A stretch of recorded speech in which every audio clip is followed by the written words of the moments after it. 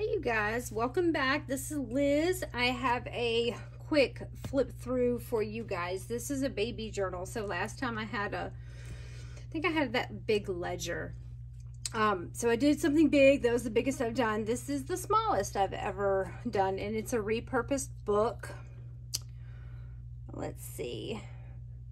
Actually, it's it's three and a half, like three and a half by five and a half. I always forget to measure um, I'm always forgetting to measure the books when I'm doing these things. So they're, they're usually in my listing on Etsy.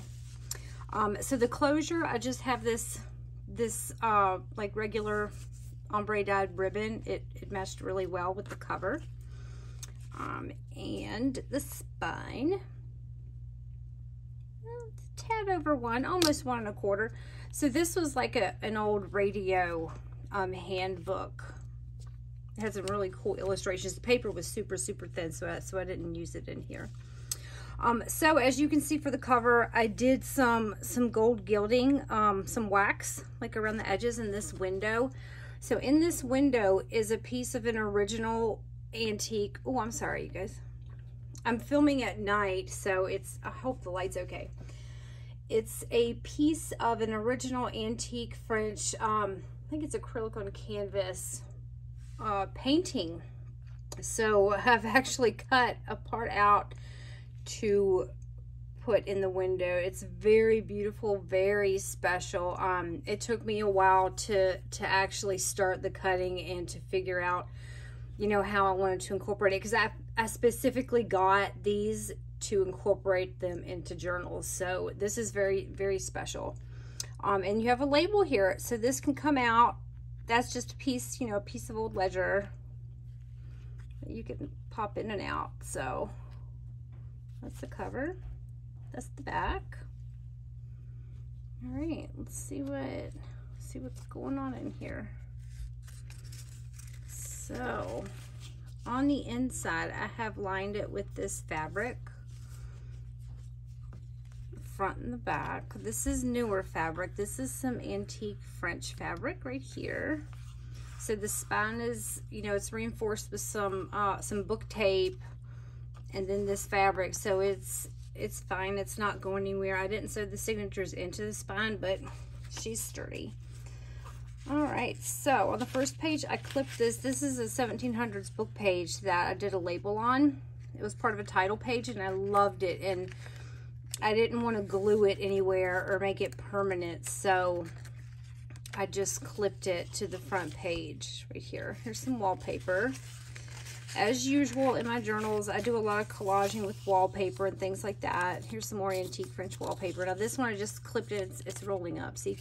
But I just clipped it in there. I, I, wanted to use this at other places, but I didn't use it all. So um, that can be used elsewhere. Um, this is one of my original French pieces that I printed on some ledger. Make sure I stay in frame.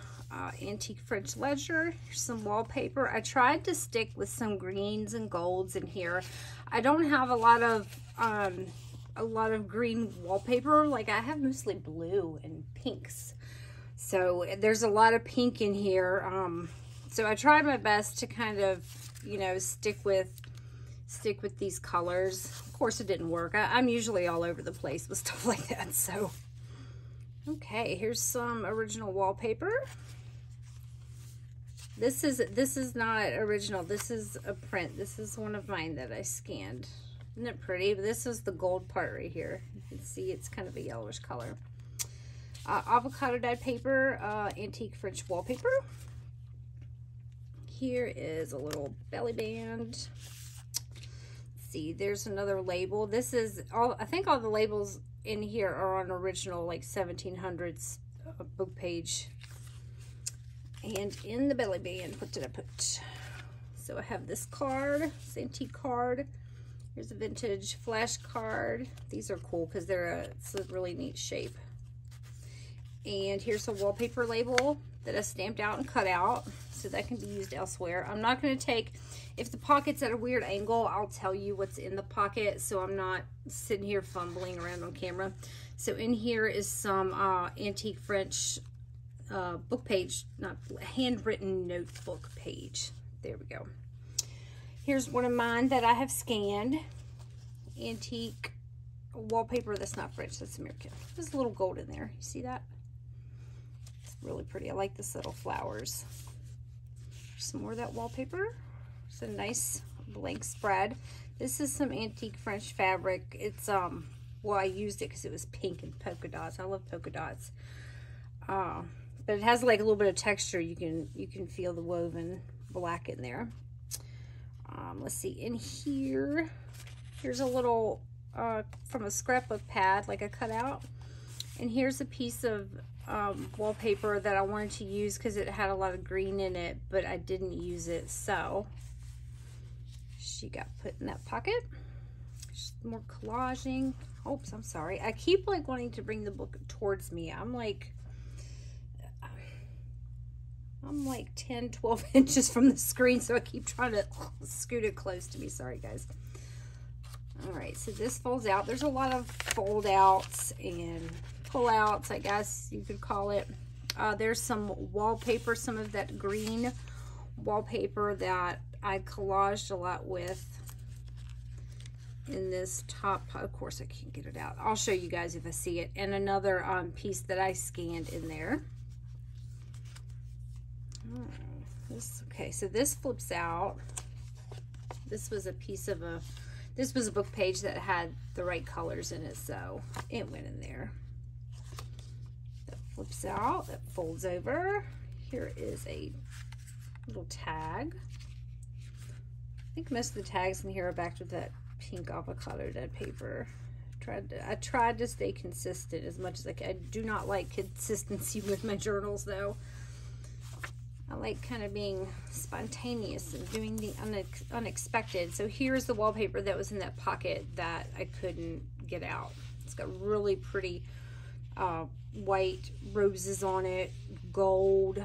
Still, you see that, how it came off on my finger, that, that thin powdery stuff. So, very pretty. Um, this is that, uh, the ledger that I printed on. Okay, second signature. Here's a vintage, I think it's vint. I don't think it's antique. I think this is a vintage French envelope. Um, so this, the pocket's on the side, but I, didn't glue the flap down, so you can leave it as is or glue it down. Here's some antique French fabric. This is a piece of antique ledger. I folded the page.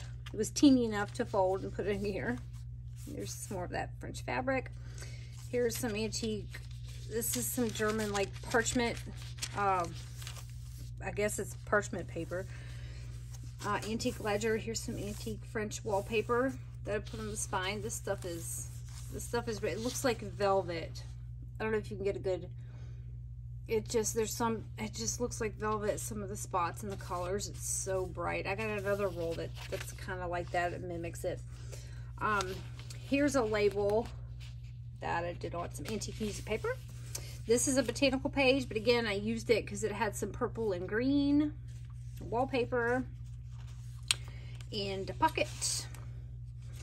So here's a another pretty gold embossed label. Isn't that pretty?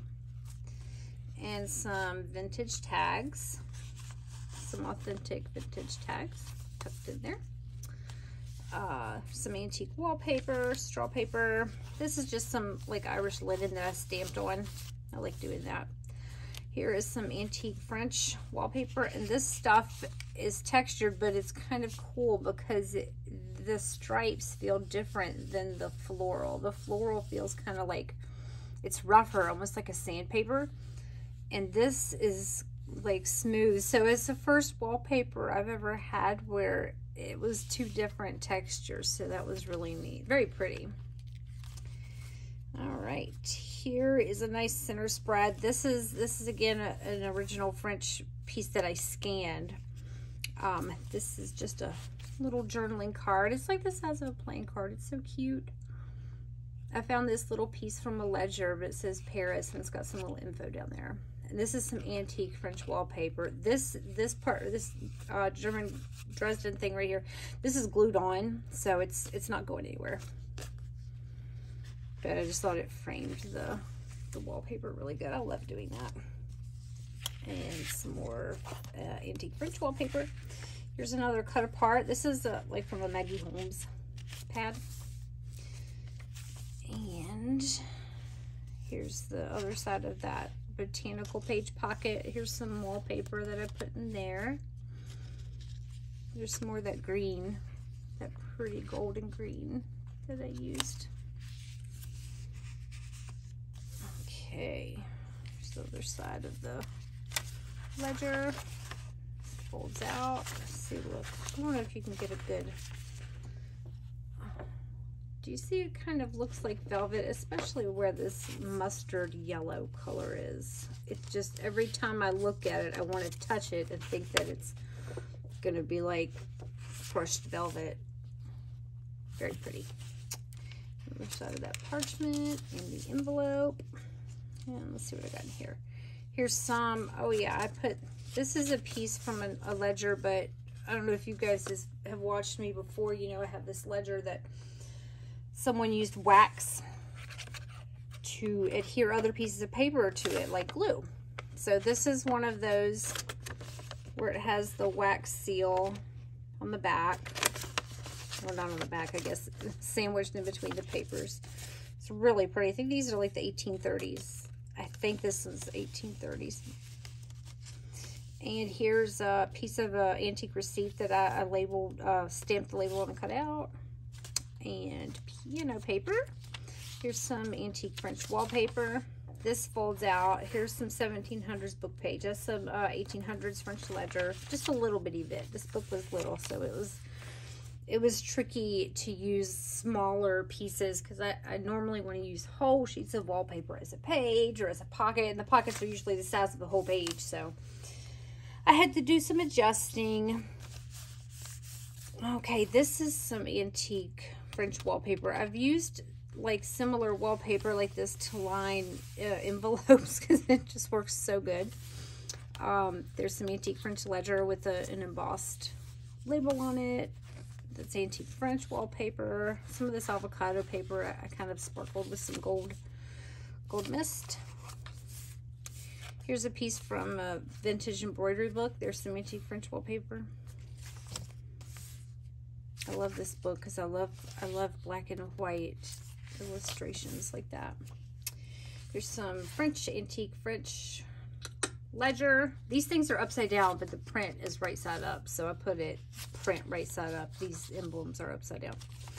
More wallpaper, some antique French wallpaper. That looks really cute. This is a um like an antique tag. I had to think of the word tag. It's so late here. I'm running behind. Here's some collaging with some antique ephemera, like ledger, and um, this was a, a, receipt as well. Here is some, I don't know what this is. What is this? This is a piece of French uh, one year from antique, 1923, 1923. Almost antique, we'll call it antique. It's like a French paper. And more collaging. Here's another one of my originals that I've scanned. This is a little, that you can put something in. Let me get like a little card. I need something stiff. So you can put something in there. It's glued, obviously, you know, around the edges right here. And you've got the opening here. Um, so there's a little window for you. There's some collaging. Here I put some some of this washi tape. I used some of this in here. Um, I love this washi tape. It's very, it's kind of dainty, isn't it? Like watercolors dainty. So, put some of that in there. I hope I didn't, there's a pocket. I was just about to say, I hope I didn't miss a pocket, and I missed a pocket. So, I will put something in this pocket. I hope I didn't miss any more, but I usually miss, I'm terrible at that. So I'll put something in there. This is the other side of that um, antique French. It's like a tag. That, that was a tag. I have two of them.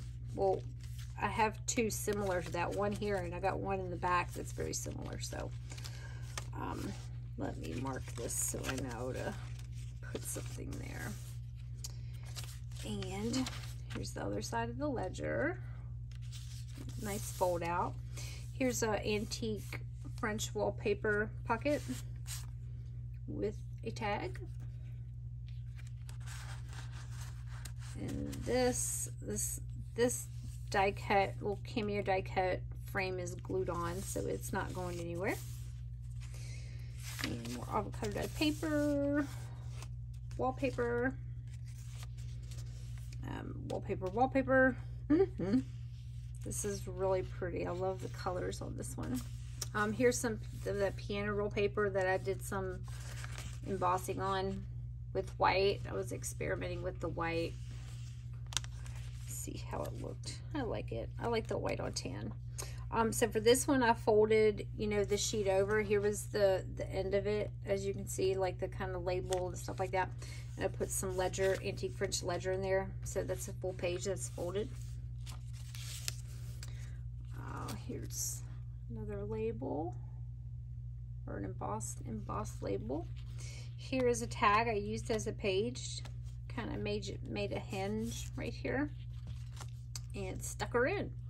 This is a piece I scanned. This is a piece that um, from an antique book. Like I'll get, I love it when you can see the chapter, right? Very vaguely, like it's so light. Um, but I like to cut out the chapters, like use a label stamp, cut out the either the chapter itself, and sometimes the chapter will have these itty bitty little quotes on it. So every time I get an antique book, like when I'm gutting it or, or otherwise going through it, whatever, looking at the pages, I always check the chapters to see how how they're organized and how they're laid out to see if I could use them for labels. So that's a little tip. Um, they're always great and the font's always great. So here's some antique French wallpaper, really light, but it has a little bit of red in it.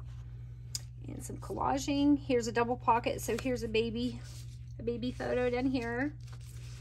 And here I folded this. This is one of those like long agenda, long agenda P. It's not to get in frame, but anyway, from the Antique French Agenda ledger. So I managed to fit that in there. It was really hard trying to find stuff that would fit in here without, you know, tearing the stuff up. Um, here's like a little ruffle. Here's an antique. This this is cool because this is American. I usually don't find American envelopes this old. This is, I think this is 19, this one's 1916, but I thought this was 1902. Um, it's hard for me to, it's hard, I hardly ever find any that are, let's see, 19... 20s or 30s and earlier um, anything like 19, I have a small stash of some that's 1902, 1901. Um, it just, see, yeah, I have them right here. It's from the, yeah, it's from the same stash. That's what I was thinking it was earlier. Um, it's just so hard to find. It was America, like, compared to France and, you know, other places in Europe. America is such a new, such a baby country. So, 1902. So anytime I get envelopes or letters like this that are American, I get super excited because they're kind of hard to come by. At least for me, they're harder to come by if I don't want to pay two arms and a leg for them, right? It's a lot of serious collectors that are willing to go higher than I am on eBay. Okay, moving on. In here, I put a piece of that really pretty textured uh, French, antique French wallpaper trying to be very careful. Okay, there we go. Uh, here's some 1600s antique French book page that I collaged on the back of this envelope. Some antique uh, receipt. More antique French wallpaper. This is a big fold out. Here's some antique French wallpaper. This is from that the same roll that, that I was talking about that's kind of velvety looking. Avocado dyed paper. Here's some ledger. Here's a little pocket with a receipt in it that's folded. So you got the whole receipt in that same roll. It's so pretty. Uh, here's another double pocket with the little baby photo. And here I have It's going to be so hard to pull out. But I will. Okay, here's a piece of antique French ledger with an embossed, a gold embossed label. Here's some wallpaper.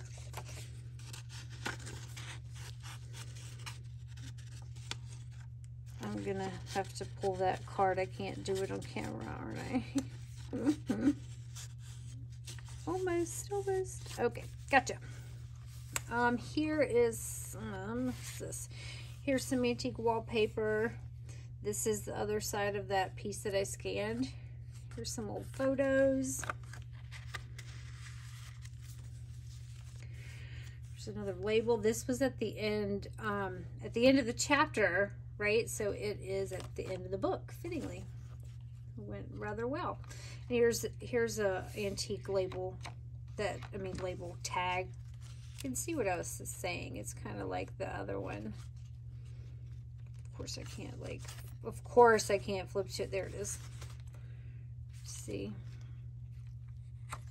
So, and that's it. So I will go back and put put something in this pocket that I missed.